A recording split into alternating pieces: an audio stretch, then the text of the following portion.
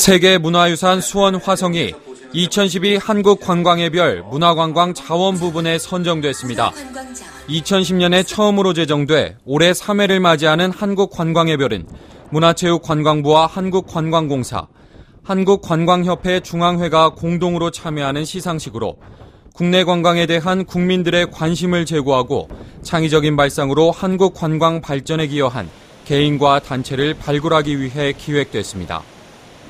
조직위원회가 발표한 2012 한국관광의별 최종 수상자는 수원 화성외의 금강 소나무숲, 정선 5일장, 일본에서 한류 열풍을 주도한 아이돌 그룹 카라까지 총 10개 부분의 단체 및 개인입니다. 2012 한국관광의별은 범국민 참여 온라인 투표 결과 60%와 심사위원 평가 40%를 반영해 최종 선정됐으며 수상자에게는 문화부 장관명의 상패와 상금이 수여됐습니다. 수원 ITV 뉴스 이태용입니다.